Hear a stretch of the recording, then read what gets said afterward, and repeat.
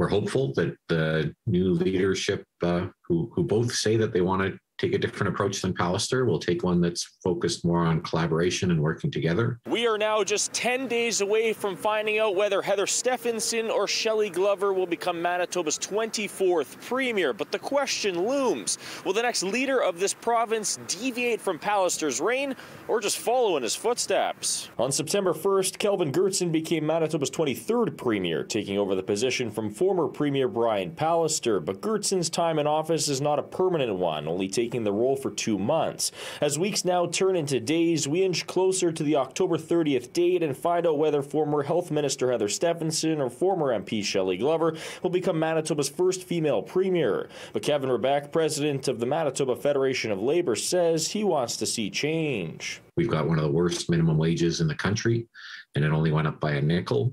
So again, a new premier being serious should bring us back into the mainstream and look at moving a minimum wage to a living wage.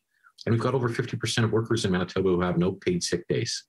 Uh, that needs to change. Colin Fast, Director of Policy at the Winnipeg Chamber of Commerce, says it's simple. Businesses want to see a solid plan from each candidate to help navigate them through the ongoing pandemic. I, I know that the pro- provincial government has been working for a while on in developing a plan, and we've recently just uh, this week seen you know the city come forward with uh, with its economic recovery plan, and uh, and the downtown biz and other organizations come forward with something specific to the downtown.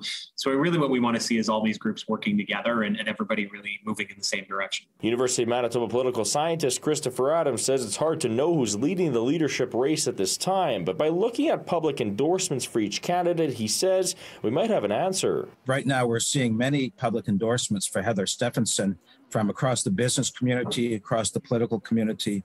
And um, so, so I would say, roughly speaking, if we go by endorsements, that are publicly announced, I would say that Heather Stefanson's probably the leader right now. Rebeck says he's worried about the possibility of the next premier following Pallister's footsteps. Uh, do I think there will be a big radical shift? No, but I think there's lots of room for improvement, and uh, and I hope these candidates will live up to their promises to not follow Pallister's path.